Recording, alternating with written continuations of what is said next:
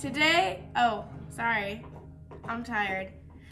Welcome to Whenever We Can Tunes with Violet. That's the one. Yep. I went through all of them in my head. Today we're singing Colors by Langhorne Slim. Woo! Whee!